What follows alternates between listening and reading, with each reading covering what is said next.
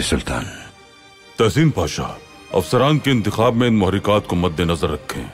उन लोगों को मुंतखब करें जो उस्मानी सल्तनत के दूर दराज इलाकों से हैं। रियासत से वफादारी शामिल हो जिनके खून में।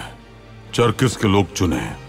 मुंतखब किए जाने वाले लोग तरजीही तौर पर बिश्नाक और क्रिम के रहने वाले होने चाहिए।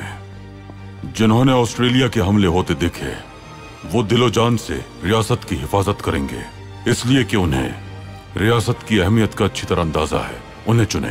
रियासती यतीम खानों में परवरिश पाने वालों को चुने, जिनके लिए रियासत वालदेन की हैसियत रखती है। उन्हें मुंतखब करें, जो रियासत के लिए खुद को वक्फ करना चाहते हैं। उन्हें हरगिज मुंतखब ना कीजिएगा, जो सिर्फ़ अपने मफाद के लिए ज़िंदगी गुजारते हो।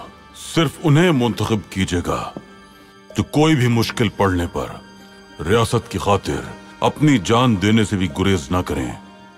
जो आपका हुक्म मेरे सुल्तान।